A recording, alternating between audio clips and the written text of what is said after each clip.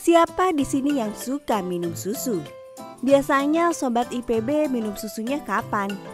Pagi, siang, atau malam hari sebelum tidur?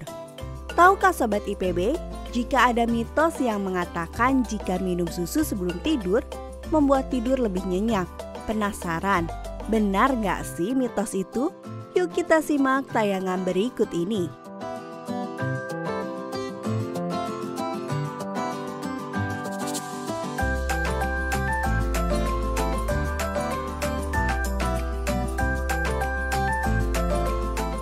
Siapa yang tidak suka minum susu?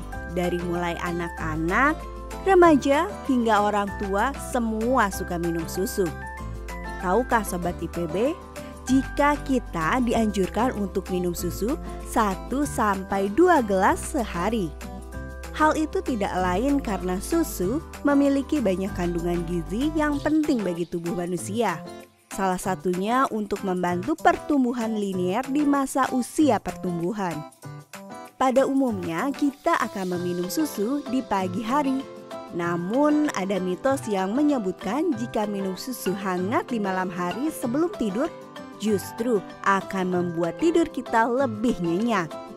Iya sih ada jenis asam amino di dalam susu, salah satunya ya triptofan yang bisa merangsang produksi melatonin sehingga kita jadi kayaknya mudah ngantuk ya mudah tidur jadi kalau mudah ngantuk kan mudah tidur ya.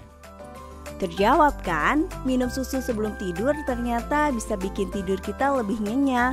Terima kasih sudah menyaksikan tayangan ini. Jangan lupa untuk like, comment, subscribe, share, dan nyalakan notifikasinya. Supaya kamu tidak ketinggalan tayangan terbaru IPB TV.